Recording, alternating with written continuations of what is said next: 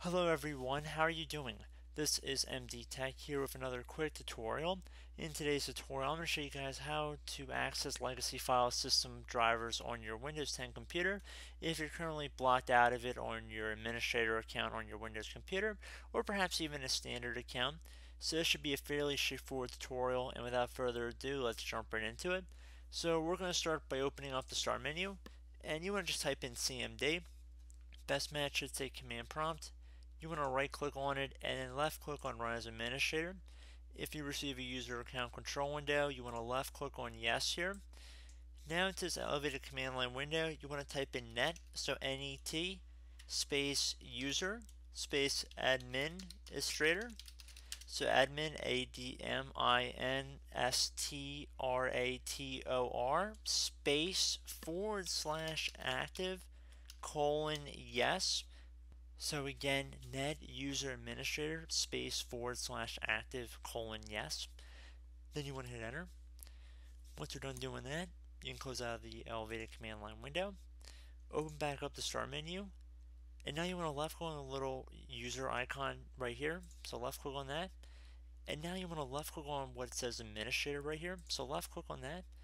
It's going to switch us into the administrator account. So just left click on the sign in button. Should not require a password to sign in. Bye.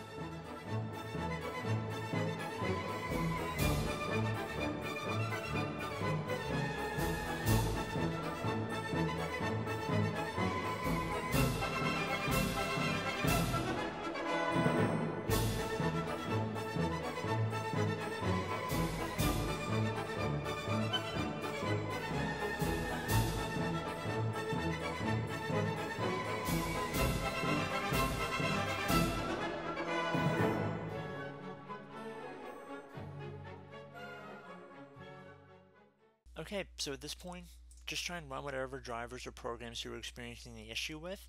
Once you've resolved the issues and you've installed whatever applications you were having problems with, you want to head back over to Start menu, left click on the little person icon right here, and then you want to left click back into the account that currently says signed in right here. So left click on that account information. Now you want to enter in your computer password, and this is again after you've resolved your issue.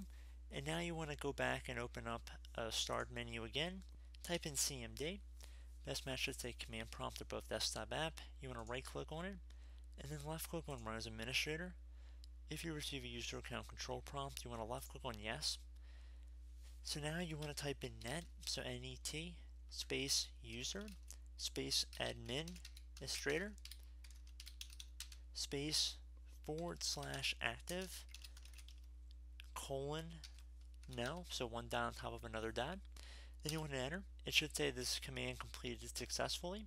At this point you close out of the command line window. So at this point you should be good to go. Restart your computer and that should be about it. So as always thank you for watching and I look forward to catching you all in the next tutorial. Goodbye.